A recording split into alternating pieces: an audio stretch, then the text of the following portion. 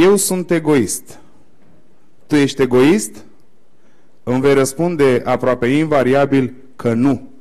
Pentru că societatea ne învață că noi nu trebuie să fim. E urât să fie egoist. Ăia care sunt egoiști sunt oameni urâți.